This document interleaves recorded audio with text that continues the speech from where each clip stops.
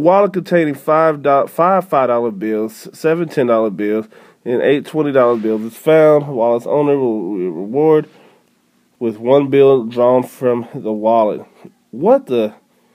What's the probability that the bill will be a twenty dollar bill? I thought this was gonna be a cute problem. You know, like how much money? Okay, so um, we got five five. Shoot, um, so we got 20, 20 different 20 different bills just chilling in that wallet. And there's eight $20 bills in in there in total. So if one bill is chosen at random, probability that it will be a $20 bill is 8 out of 20. We're going to reduce that to 4 out of 10, which will also reduce again to 2 out of 5.